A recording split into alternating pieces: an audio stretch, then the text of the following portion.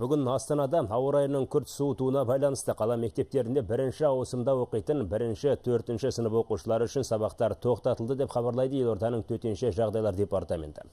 елордада таңғы сағат алты нөл нөлде ауа температурасы минус жиырма бір градус аязды көрсетті еске салайық оқу жылының қысқы кезеңінде оқушылардың қауіпсіздігі мен денсаулығын сақтау мақсатында бірінші төртінші сыныптарда ауаның температурасы минус жиырма бес градус және одан төмен болғанда сабақ өтпейді